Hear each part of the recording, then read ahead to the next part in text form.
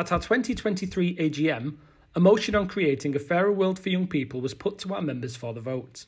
It focused on ensuring that young people's views and needs are built into how we make decisions across all parts of our co op.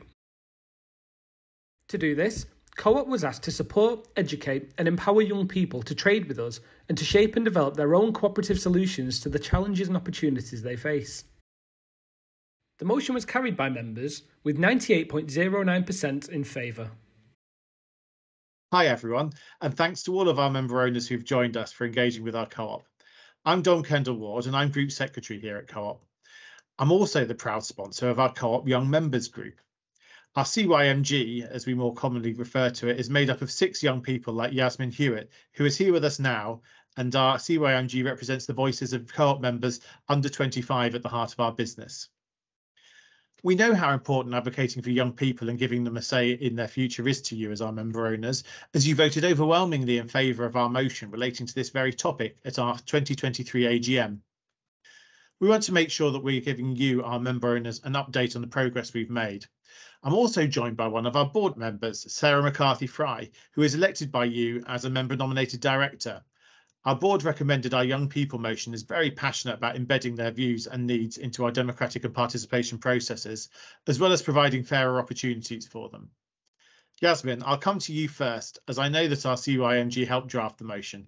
How have we been embedding CYMG into our processes, and what else has been happening to deliver our community mission for young people?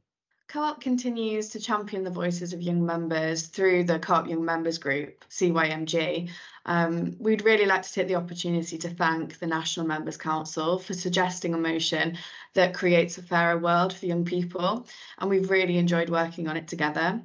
Since the AGM, our focus has been on making sure CYMG and our young members are represented in both formal and informal ways across the co-op in addition to a former CYMG member being co-opted into Members Council, we now also have a co-op member on every Values and Principles Committee, and this is where we regularly work with council members and senior leaders in real time to influence and shape the plans and strategies on lots of key issues like ethics, sustainability, and value that's driven through our membership offer. This year, we'll be working on furthering these connections and building those relationships with senior leaders to enable more young people to get involved and to make a difference. Outside of CYMG, our community team has been really busy working with charity partners to create fairer access to opportunities for young people. Here are some of the highlights that I wanted to share with you of what we've achieved. Firstly, the Peer Action Collective, PAC, has helped us lead on providing youth voice, with over 11,000 young people taking positive action to build safer and fairer communities. Several members of the CYMG come from a PAC background, and so this has been really beneficial in helping the different youth networks work together for change. Alongside the Co-op's charity, the Co-op Foundation, as well as the I Will Fund, we've launched our Young Game Changers Fund.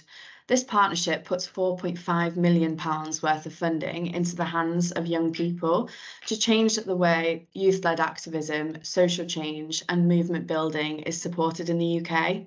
I'm really excited to see where this partnership gets to over the coming months in 2024. And then lastly, we have our national charity partner, Barnardo's, which is working with us to raise £5 million for supporting young people with getting their basic needs, so food, help with future opportunities, mental health and wellbeing services. Um, and to date, 740 young people have helped shape the local services in over 20 communities. CYMG, alongside many other youth groups, have participated in fundraisers for the cause.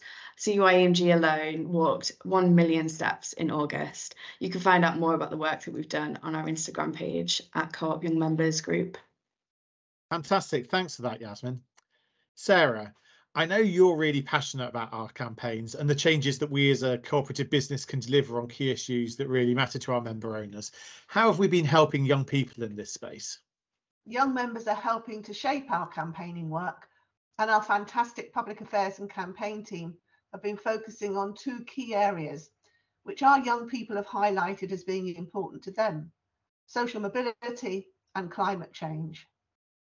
All young people deserve an equal start in life and the circumstances in which you're born shouldn't dictate where you end up. At Co-op, we've been calling on the government to urgently reform the apprenticeship levy so that more young people can benefit from fairly paid apprenticeships. Now, we wanted to know firsthand how it's affecting young people's lives. So we asked nearly 25,000 young people in primary and secondary schools about fairness of pay. The results of this research was presented by the students themselves in Parliament in July, and it was then cited in a major report from the Policy Exchange. In October, Co-op hosted a fringe meeting jointly with the Social Mobility Foundation at the Labour Party conference to discuss how young people were being discriminated against for coming from a low income or socially deprived background. Now, we know that climate justice is important to all our members, but it resonates particularly with younger generations as they will be most affected. Despite this, younger people's views are rarely considered by policymakers. That's why, as part of our climate justice campaign, we commissioned research with the Co-op Foundation so that we could understand the attitude of younger generations towards net zero. We consulted with 40 young people in an online community and then over a thousand more carefully selected to be nationally representative. And this led to a report that was presented by some of the young people who participated in the research at both the Labour and Conservative Party conferences. And we're really proud of the way our young people are helping to influence policy in these areas. Thanks so much for sharing that, Sarah. Um, in the board's response to the motion, it touched on academies. Do you have any updates on our work to develop children's understanding of cooperation? Yes, I do. We are proud to now sponsor 33 academies, including primary, secondary, special schools, and a sixth form college.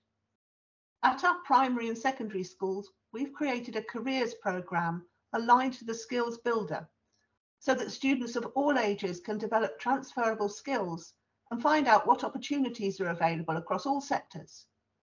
In our sixth form college, we can offer a high quality work placement programme for business students, combining co-op leadership skills alongside traditional learning.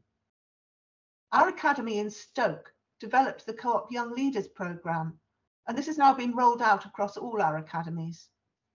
Each academy can adapt it according to their needs, and 1,200 students have been trained in leadership and communication skills and have learnt skills to boost their confidence. This has enabled them to become community ambassadors, reading partners, playground leaders, and event planners for open days. As I said, climate change and sustainability are high on the agenda for our young people. They want to know what they can do to help, and we want to give them the knowledge and skills to do that.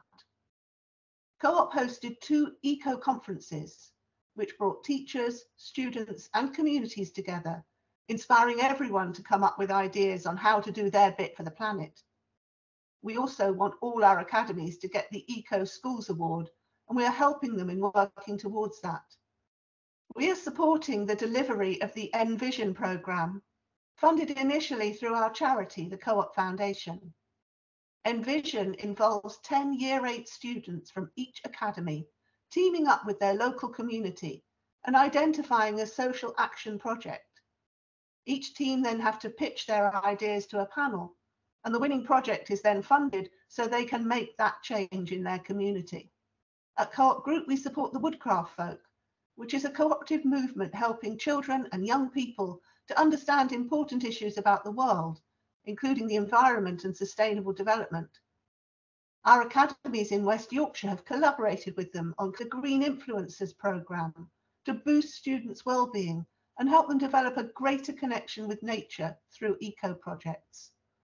This is just a flavour of what we're doing to develop understanding of cooperation in young people. It is an ongoing process. Thanks so much, Sarah, for sharing that. That's really helpful. Before we wrap up, I'm just going to pass back to Yasmin. As a co-op colleague, please can you tell us how co-op is supporting young people who work in our businesses and our support centre? Our Strive network was set up to listen to, support and empower the co-op colleagues that are aged 16 to 30 it's grown significantly in reach, and through colleague sessions and workshops, the network has now developed a strategy with the colleagues it helps, bringing in more senior leaders as sponsors to amplify the young voices in our decisions and plans. In my experience with CYMG, over the past six months, we've begun to actively collaborate between the different youth groups that Co-op supports. We're starting to work together to elevate each other's projects and amplify the impact that we're making. It's been an incredibly rewarding 2023, um, opportunities to meet other like-minded individuals, and we're really excited for 2024.